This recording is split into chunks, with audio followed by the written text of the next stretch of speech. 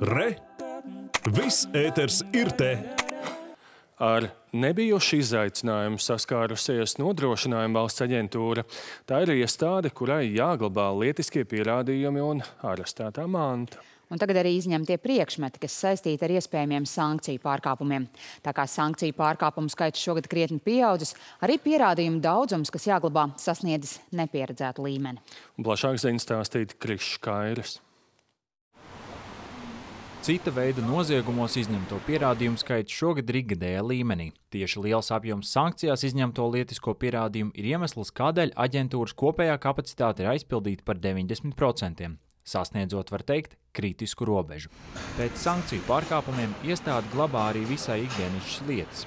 Piemēram, iepakojums koksnes granulām, armatūras stieņus, plēves ruļļus, zāģu materiālus, sliežu ceļu gultņus, naglas, ūdens pudeles un pat ziedus aptuveni vēl 30 un vairāk procesos šādi lēmumi būs pieņemti par nodošanu no NVA. Un, protams, šo skaitu nevar prognozēt uz nākotni, jo šie procesi tiek uzsākti nu, ne katru dienu, bet katru nedēļu pa vairākiem. Tas nozīmē, ka risinājums vietas atbrīvošanai vai tās papildināšanai būs jārod. To šobrīd apzinās arī atbildīgās institūcijas. Tādēļ jautājums pārunāts kopīgā sanāksmē. Tajā kā svarīgākais risinājums kapacitātes palielināšanai pārunāt pēc iespējas ātra pierādījuma realizācija.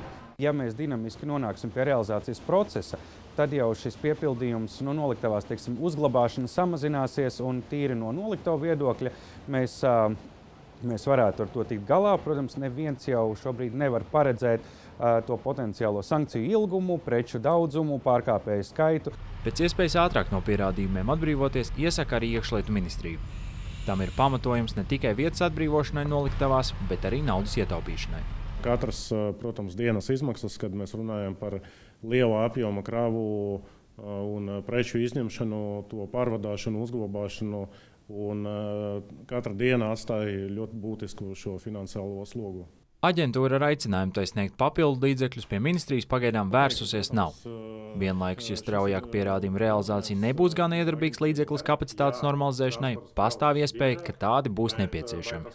Ja rodās papildus izdevumi, kas arī šobrīd nodrošina valsts aģentūra, šo lietišķi apzinās, ja būs nepieciešams meklēt papildus resursus, protams, to darīsim.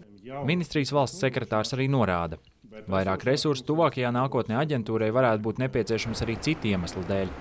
Finanšu ministrija ir ierosinājusi nodrošinājumu valsts aģentūrai no valsts ieņēmuma dienesta pārņemt funkciju par valstī piekritīgās mantas nodošanu.